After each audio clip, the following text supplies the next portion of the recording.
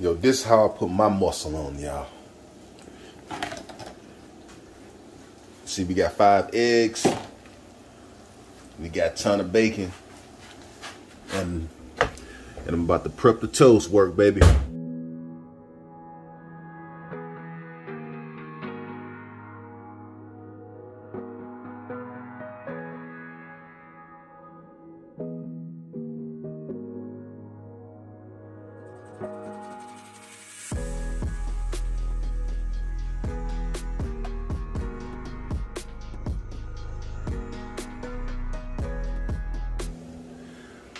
Hey, it's, it's, it's very simple, man. Like a lot of people ask me, like, "Yo, T Walt, man, what you eat? So what supplements do you take?" It's not really all about the supplements. It's really mostly about the calories and your macronutrients you get in. Now, I'm gonna be honest with you guys, man. I don't even count calories. I don't. I don't really have the time to count calories, to be honest with you. The portion size method is a good good indicator to let you know that you're getting the proper servings. You have to understand your campaign. My campaign is to keep muscle tissue. And in order for me to keep muscle tissue, I have to get my calories in.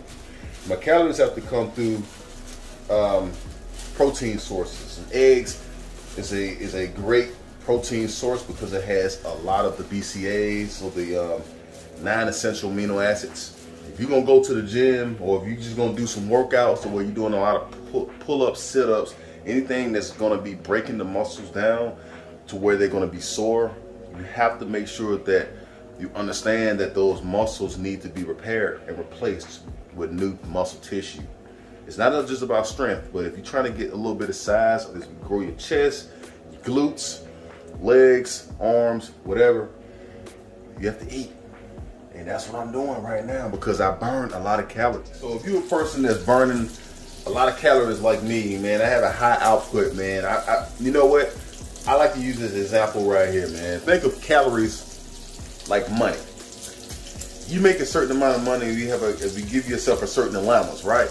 You like those Air Yeezys, you like those Jordans, ladies, you like those Birkin bags, red bottoms, whatever, whatever's popular out there that, that takes your money, you like it. The more things that you like requires the more money you're gonna spend. The more money you're gonna spend, the more money you have to make. Simple as that. Calories.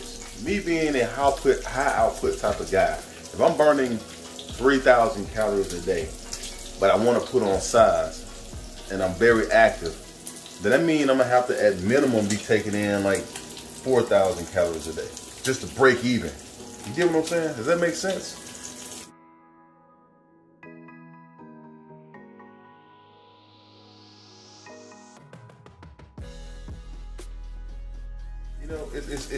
Calories in versus calories out, just like money in versus money out.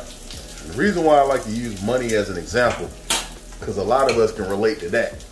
Look at these gas prices. It's like either you stop going to places you go and just narrow down to like your top three just to save gas because gas prices are too high, or you move the way you've been moving. Just know that you have to like invest into putting more gas into your car, which means it's gonna pay, it's gonna cost you. So fitness is the same thing. It's about rewards and losses. It's gonna cost you to put on size. All this stuff is connected. It costs more money in groceries if you're on a campaign to eat more. A lot of people be like, man, well, you gotta eat more. But now I gotta shop more. Really, that's what you're saying. I gotta shop more. I gotta find things to eat. And also have to find the things of nutritional value to eat. I can't just be eating top ramen, microwavable pizzas, and, and, and, TV dinners all day. You know, those temporary fixes here and there when you're on the move. I get it. Can't be eating like vegan and plant-based stuff every day. I understand that you'll go broke unless you're rich. You know, but even then, the other big factor that comes into into play is time. There's people who can't afford it. The reason why they can't afford it because they're working, so they don't have the time, so they have to pay somebody to meal prep. You see how this whole thing is circummerged And those slices of time, like in the morning, right now, before I get busy, I gotta eat because once I get busy, I'm not gonna eat until later on after my workout, and it's gonna be defeating the purpose. You know, so everybody protocol is different. I'm not trying to, you know, I'm not trying to be the biggest guy in the room. I'm just trying to maintain muscle density, and all I'm doing is just eating the required calories based upon my level of activity because I'm an active guy. Everybody who's working from home, you're not putting out as much calories, then the protocol for you would be a little different, man. But even then, while you're at home, you got the time, you got the space, you got the heart, you got the energy. Go ahead and get some of this gladiator school home body workouts, man. You know, anybody can do a 10, 15, 25 minute home boot camp.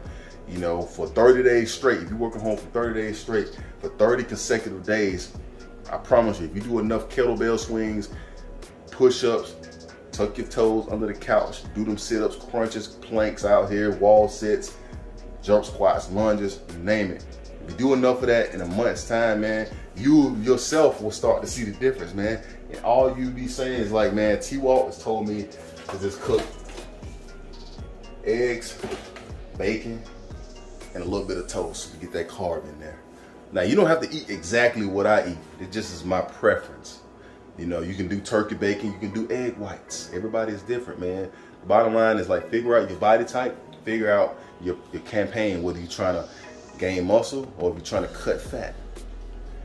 And then just go from there. Bottom line is, is enjoy the process, trust the process, have fun. It's your man T Walt, aka the improvement coach. And hey, if you guys found value in this video, please smash that subscribe button, hit the like button, hit the notification bell. We're trying to grow the channel. We're trying to get the information out there. And we're just trying to just vlog it out, man. Sometimes you want to just live life, man. And I may not know everything. In fact, a lot of the things that I would tell you guys is going to come from me. It's going to come from my failures. And I much rather to provide you the opportunity to save that time to going down the wrong paths that I did, the wrong decisions, the wrong choices that I did, to cut down on the mistakes for you.